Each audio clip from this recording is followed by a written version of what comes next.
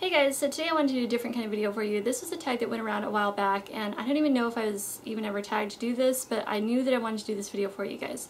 So the tag is 10 things I wish I knew 10 years ago. I have the list on my phone here.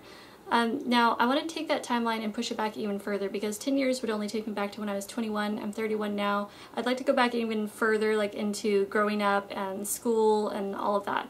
So let me go ahead and jump into it. Number one is don't judge a book by its cover. And this is something that I wish I would have learned to embrace a long time ago because I know I'm guilty of it as well and I mean we all are.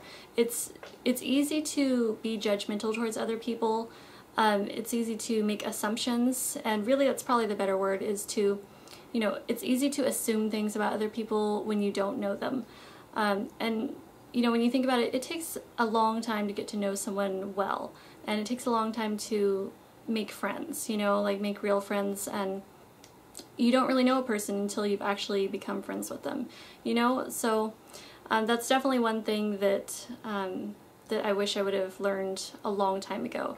And something else about that is I know in my own personal experience, like when I was growing up in school, um, I was always very quiet and really quite shy, and so a lot of people would uh, assumed that I was a snob or, you know, very snooty, and really I wasn't, but they never, you know, no one talked to me, and then therefore I didn't talk to anyone else because I was so shy, and so it just kind of like went on like that until I finally, finally broke out of that, you know, in my high school years. But, um, yeah, and even, I mean, even beyond high school, even when I was an adult and I, I was getting this job at this sports shop, um, I remember the first for the first two weeks of me working there, like, and almost no employee would talk to me, uh, or you know, no coworker, and they it was because I was quiet and I was kind of nervous starting out, so they thought I was kind of snobby, um, until they got to know me, and then we had a blast. So. You know, sometimes just keep in mind it takes time to actually get to know a person, so you don't want to judge a book by its cover. Okay, number two is being different is a good thing, and I cannot like express this enough to you. Like if you're in school or whatever age you are, um, just embrace yourself and who you are and uh, whether you're different than other people, that is a good thing. I mean, whether you dress differently, look differently, whatever it is, it's a good thing. Trust me.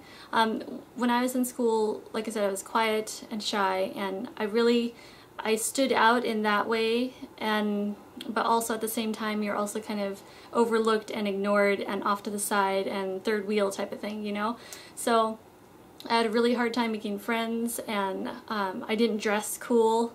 Um, I, like all my clothes were from thrift stores and I mean today I love to go to thrift stores and shop so I'm like still kind of the same in that way you know it's like I mean, I have, I don't have like the best fashion sense or whatever. I just dress in what I like and what I'm comfortable in, and I've always kind of been like that, and that is okay. Um, so I need to express that to you guys. Uh, for anyone out there, if you're going to school or whatever, if your parents can't afford the cool, you know, the hot clothes, um, whatever, whatever's hot, you know, trendy that year or whatever, that's okay if you can't afford that. You know, my parents never could. That's why we shopped at thrift stores. So I had like, you know, dollar pants and dollar tops and like a $5 jacket. It's like, that's just how it was. So yeah, so being different is okay. And so it's definitely something that should be embraced. Um, number three, kind of on that same subject, is get to know yourself and appreciate who you are and your heritage. Okay, so that's how I'm kind of getting into your heritage, your genetics. Um, so like, you know, your characteristics, features about yourself.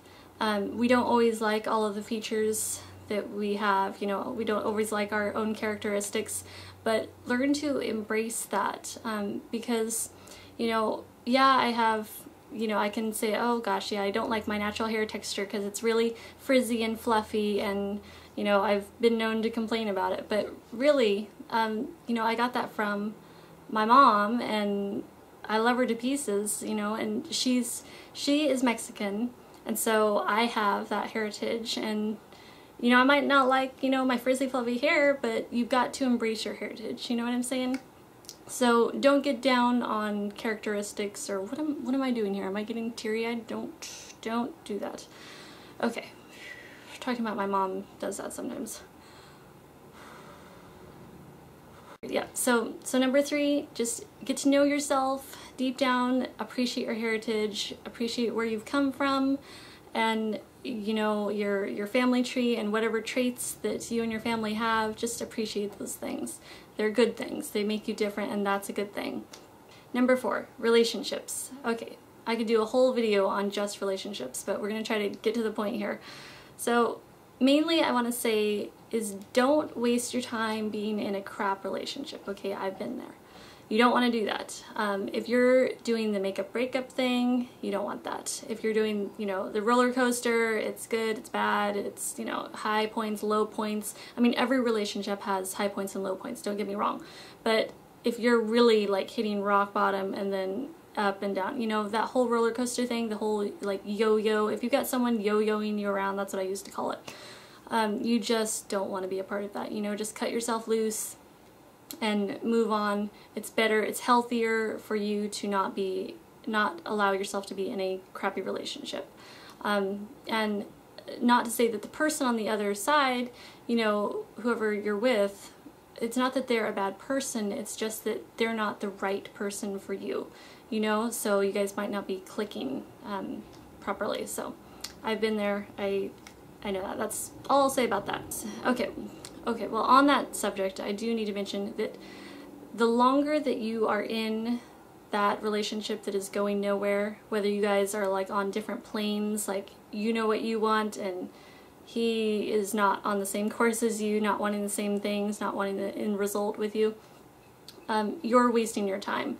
And the longer that you spend with that person wasting your time hoping that they'll change or that's another thing don't try to change a guy don't try to change anyone for that matter but the longer you're in that the more possibility you have of missing your Mr. Right so the longer you spend with Mr. Wrong you don't want to you know do that and then miss Mr. Right number five always do your best in whatever you are doing so I have another saying I don't know if I should say it on here but I I always tend to say don't half-ass it, you know? Like, if I'm gonna do something, I'm gonna do it right, and that, that's not to say that I don't make mistakes, I make mistakes all the time, but, you know, just do your best. If you're always doing your best, then you don't have any regrets.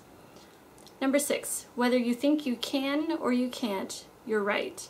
And what that means is it's all in your thinking, it's all in your attitude, it's all in whatever you can achieve in life or a project or whatever you're doing, whatever you think you can do, you can. You can achieve it. And if you think you can't, well, then you can. You're not going to be able to. So it's all based on your thinking and if you have, you know, those positive thoughts, you're going to be able to break through any barriers or any roadblocks that might come your way. But if you let those roadblocks stop you and you just turn around and give up, well, then that's what you get. So either way, whether you think you can or you can't, you're right. Number seven, making money. Okay, so what do I wish I knew 10 to 20 years ago about making money? Okay, I wish that someone would have sat me down and said, listen, there's all kinds of ways to make money in this world. You can succeed in any of them. Whatever you want to do, you can do it. Um, and I, I didn't have that. I didn't have anyone talking to me about money. Um, all I knew was uh, growing up, we were very poor, we didn't have money, and every day was a freaking struggle. So um, all I knew from that, or what I took away from that, was that I didn't want that. So that pushed me, like going through that pushed me into um, trying to be successful, trying to find success, and um, but of course having fun and enjoying myself at the same time. I knew that I didn't want a 9 to 5 job because that's just not me and I, I didn't know what I exactly I wanted to do. I didn't go to college. I dropped out of high school. That's like, you know, most people would look at and be like, oh geez, you got no chance. But no, I am here to tell you, I don't care what your situation is, you can come out of it ahead and successful. Um, a lot of people do, and you know, a lot of people become millionaires. I'm not trying to become a millionaire, I'm just saying, you know, I like to be comfortable. I don't like to stress about money. That causes fights. It's unhealthy. It's stressful. Any kind of stress is, you know, not healthy. Uh, and I know that money is the root of a lot of people's stresses, you know. So I would just tell anyone who is like just getting in the job market or whatever the case may be, um, just know that there's all different ways of making money and you there's a way out there for you that you will enjoy and be able to make money at. Um, you don't have to do a job that you don't like. You don't have to go fill out a bunch of applications and try to get a job that you don't like. I remember doing that. I was like filling out all these applications trying to get jobs that I didn't even want and it's just, you know what, that doesn't make sense. So I want to just point out to anyone out there you don't have to do that. That there's different ways of making money, and um, you can be successful in any of them. And you can be successful in doing something that you enjoy every single day. Number eight, live and let live. And this kind of goes into the whole like, don't be so critical of other people. Because you know what? We're living right now. I mean, this is it, and we don't want to waste time being critical and judgmental and spend spend our time, our precious time nitpicking others apart. It just, you know, it only affects ourselves negatively and we just don't want to do that. Um, you know, like I said, life's too short. You're living right now. Take advantage of every day. Um, enjoy your family, enjoy your friends, and be happy. Have fun, and you know, be more lighthearted and not so negative. Don't let negativity consume you.